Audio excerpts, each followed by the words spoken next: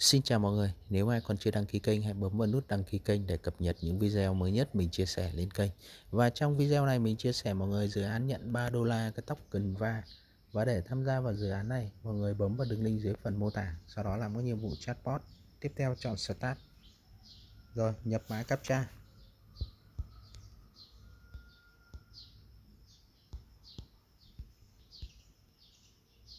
Rồi, tiếp tục chọn Continue này sau đó thì mọi người sẽ join vào group telegram. Quay trở lại này. Hình như còn phải xác minh. Mọi người join lại cho mình nhé. Click here vào đây. Ok này, quay trở lại. Join tiếp vào kênh channel. Rồi, sau đó quay trở lại. Join vào discord này. À follow twitter trước và retweet lại cái bài đăng này. Bấm chọn theo dõi. Rồi, sau đó thì mọi người like cái bài đăng và trích dẫn lại cái username của nó.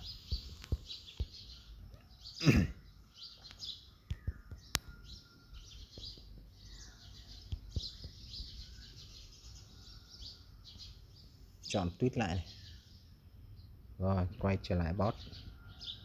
Ra vào kênh quảng cáo đấy. Và sau đó thì sẽ retweet lại cái bài đăng trong kênh của nó nhé. Rồi, ở trong cái kênh này thì mọi người tìm đến cái bài đăng của nó.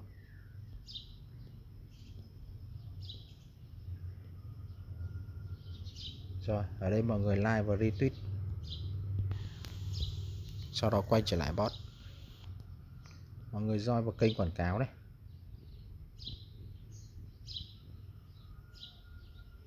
rồi, sẽ bấm chọn đăng ký và bật hình quả chuông lên cho mình.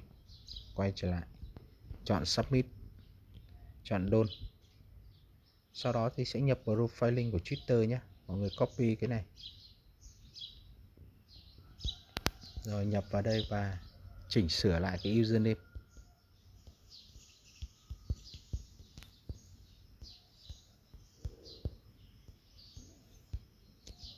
Rồi, tiếp tục sẽ do vào Discord này.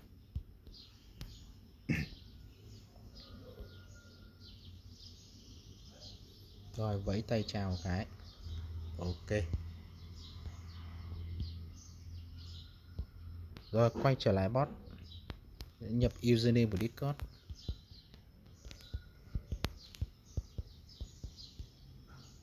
Rồi sau đó chọn đôn này. Tiếp tục chọn giết này. Và ở đây thì mọi người sẽ phải nhập cái à, đầu tiên là chia sẻ cái video của nó nhé và sau đó nhập cái đường dẫn đến kênh youtube thì mọi người sẽ bấm vào đây nha. Bấm vào YouTube này. Rồi mọi người sẽ mở cái video của nó lên. Trên màn hình các bạn đang nhìn thấy là cái à, lớp trí tuệ đầu tư của Nick và phiên bản online 23 rồi mọi người chọn like video và chia sẻ lên Twitter. Rồi quay trở về trang chính của YouTube. Bấm chọn vào avatar chọn kênh của bạn và copy đường dẫn đến kênh. Rồi, quay trở lại bot này. Mọi người nhập vào đây. Tiếp theo mọi người sẽ nhập địa chỉ ví mạng BSC nhé.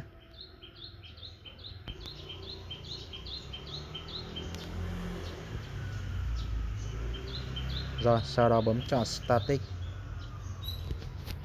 Ok mọi người, như vậy mình đã dẫn xong mọi người tham gia dự án. Hẹn gặp lại mọi người những video tiếp theo.